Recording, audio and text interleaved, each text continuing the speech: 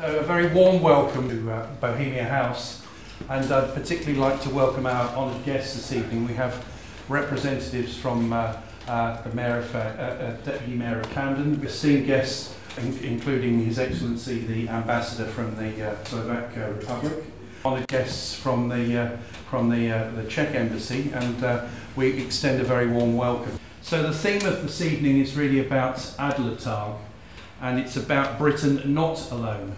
So you have stamps saying Britain alone, and Britain certainly wasn't alone, I think, in 1940.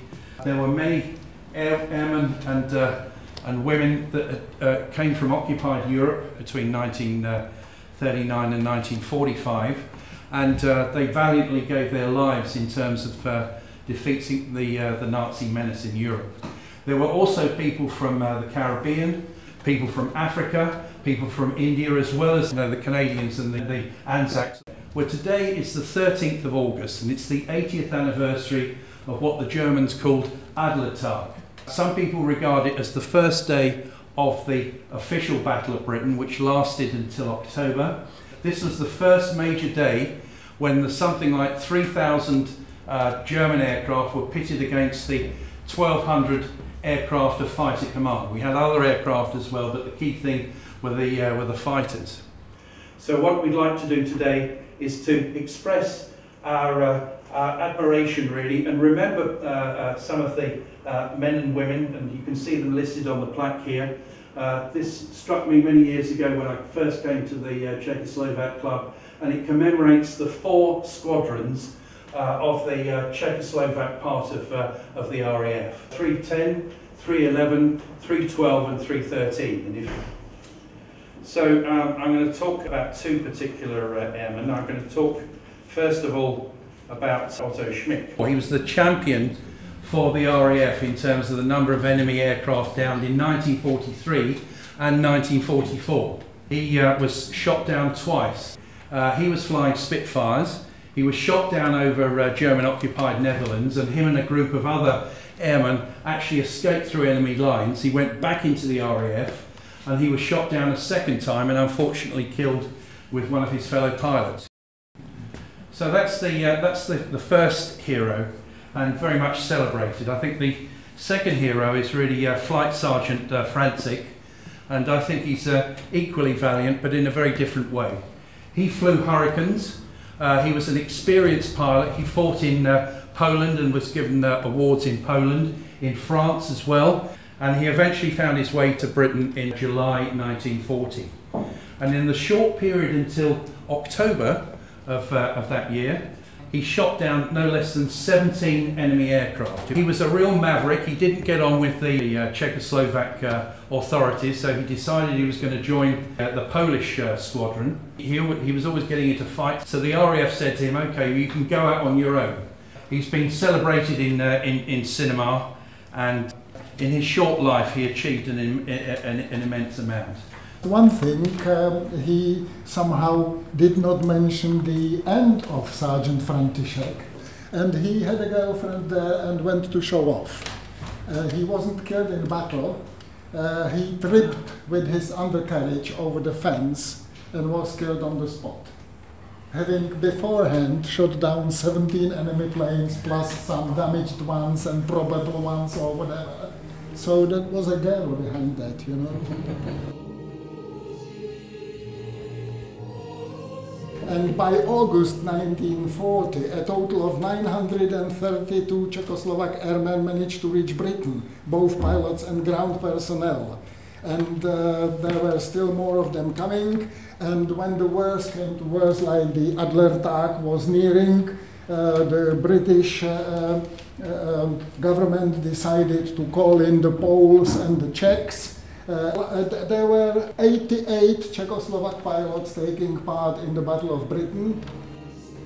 And uh, all in all, they shot down 72 uh, uh, certain 16 probables and 14 damaged during the Battle of Britain. And uh, overall, during the Second World War, it was about 204 destroyed, 81 probable, and 131 damaged Luftwaffe planes, plus six destroyed V-1s. Uh, and the 311 bomber squadron dropped over 94,000 bombs and later with the coastal command it attacked over 70 submarines and surface ships. About a lot about um, about uh, heroism, uh, but uh, it's important I think to recognise the work that civilians did, particularly in the London Borough of Camden, particularly women. And there were lots of uh, aircraft uh, uh, component factories in this particular area. Amongst them, my grandmother, who uh, worked on uh, at, uh, Smith's Industries up in Cricklewood, which was a big manufacturer.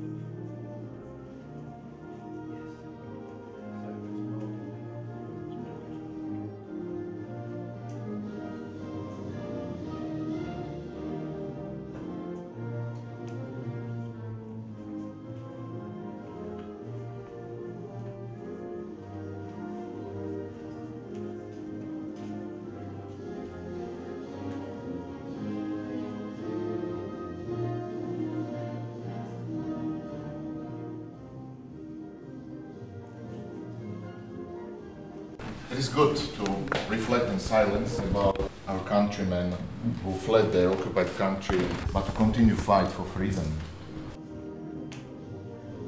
Councillor Francis, uh, dear colleagues from Czech Embassy, uh, dear friends, uh, first of all I would like to thank uh, the organizers for organizing this uh, this nice event, uh, this big anniversary, despite of uh, this uh, coronavirus restrictions, but in a very nicely uh, refurbished national house here in West Hampstead, not far away from from residences of me and of the Czech ambassador in, in Hampstead, so we are locals here as well.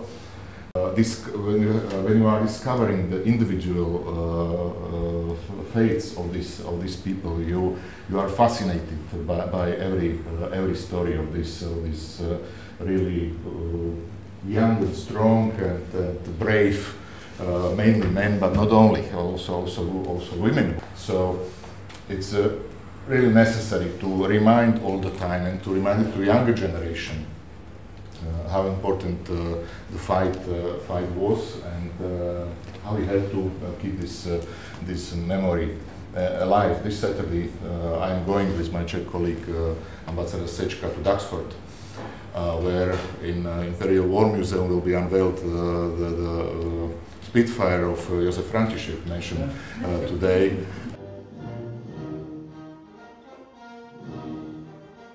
Also mentioned uh, they are going uh, together with our ambassador to, to visit uh, the graves of the soldiers.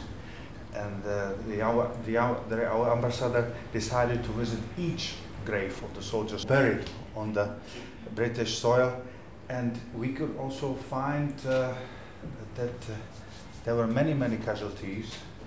And uh, because it was a wartime there were many many soldiers who were just not able to cope with the reality and committed suicide, or there were many, many uh, mental disorders and so on. So there were heroes, there were other ordinary people. So the basic conclusion, the war is bad. Uh, the consequences of the war are even worse, especially for the country like the Czechoslovakia, who depended on the great powers and after the uh, war, we lost our political uh, independence and the people were impo impoverished and so on. So you can see the consequences for the dozen and dozen years. So I would like to maybe later on propose a toast to the, all the heroes who came here as a young man uh, who gathered here in the public place uh, to feel their, their, their happiness for, for a moment because they didn't know if the next day they would be dead or not.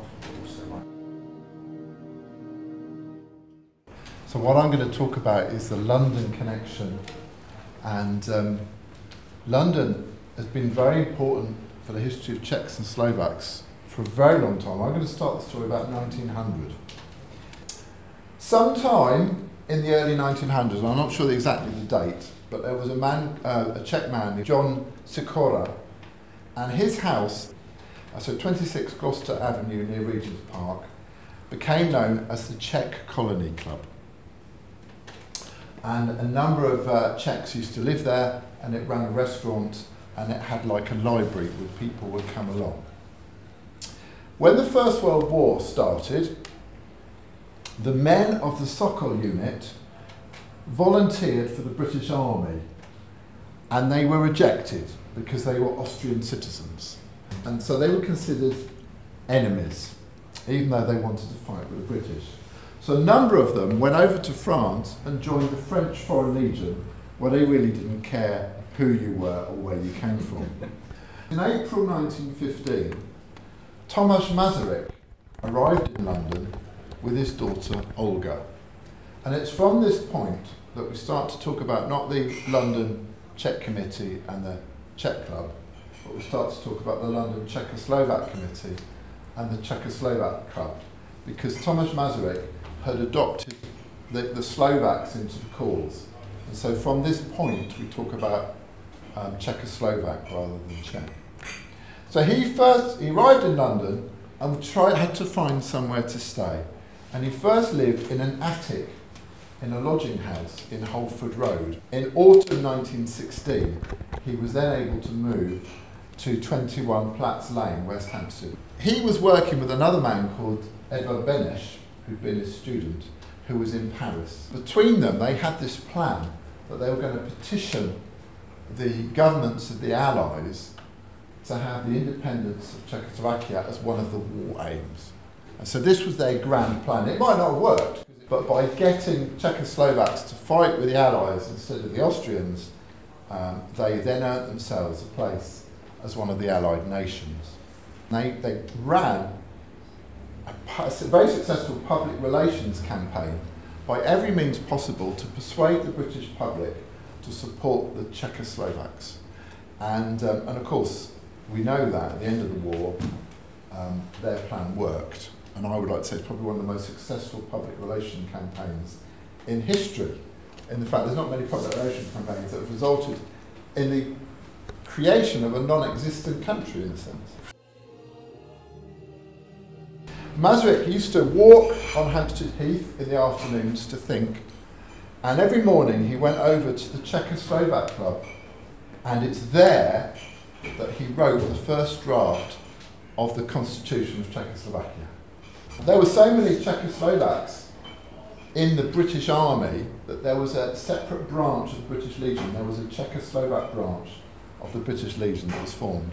And after Czechoslovakia was created and they went back, they used to meet at the British Embassy in Prague.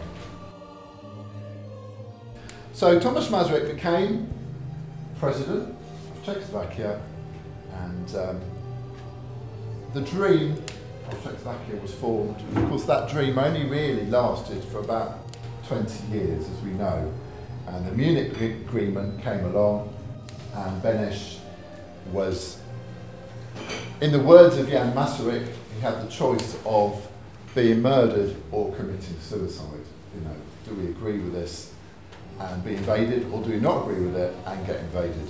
So he resigned, fell into depression, and was brought to Putney.